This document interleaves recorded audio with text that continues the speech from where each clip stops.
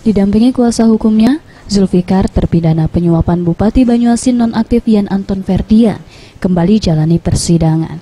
Dalam persidangan kali ini, hakim memberikan vonis selama satu tahun enam bulan penjara serta denda 50 juta rupiah. Vonis ini lebih rendah dari tuntutan JPU KPK. Zulfikar yang juga merupakan pegawai negeri sipil di lingkungan Pemkat Banyuasin ini dianggap telah bersikap kooperatif selama masa persidangan.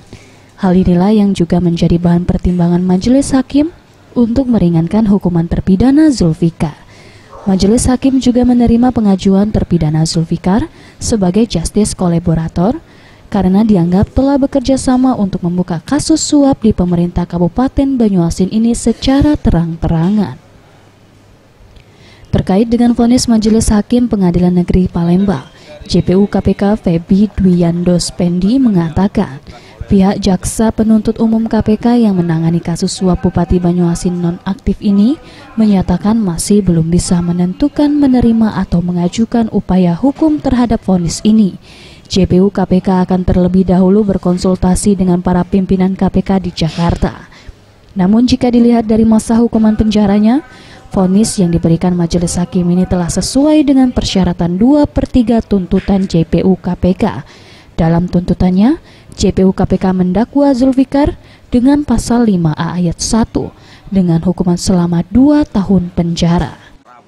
Kita sudah nyatakan sikap tapi dari pertimbangan hakim semua sama sesuai dengan tuntutan kita. Dari pertimbangan hakim semua sama dengan tuntutan kami. Kami juga berterima kasih kepada majelis hakim dan memang faktanya demikian.